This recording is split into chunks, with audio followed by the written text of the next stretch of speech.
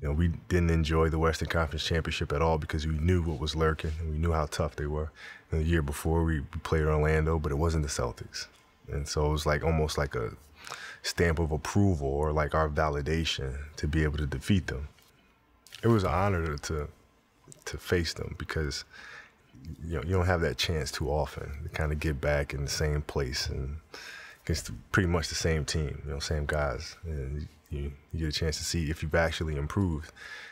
And so it was just this bond that was formed, you know, between us, you know, as brothers going against these guys and being down 3-2 in a series and having to fly back to Los Angeles down 3-2, you know, in the NBA finals. I laughed and I said, you know, this is this is this is great. I mean, we wish we would have been going home up 3-2, but if I would have told you at the start of the season that all you have to do is win two games in a row and you're NBA champions, would you take it?